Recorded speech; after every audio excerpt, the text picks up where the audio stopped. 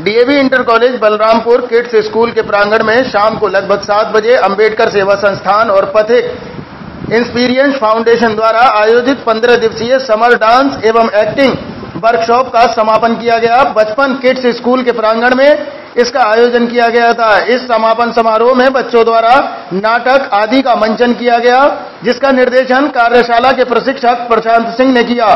साथ ही कार्यशाला में सिखाए गए नृत्य की बॉलीवुड जंक्शन प्रस्तुति भी की गई, जिसकी परिकल्पना राहुल चौधरी ने समारोह में मुख्य अतिथि के रूप में पधारे रविंद्र गुप्ता, कमलापुरी जिलाध्यक्ष वैश्य समाज, बलरामपुर का माला पहनाकर व बैच लगाकर जोरदार स्वागत किया गया।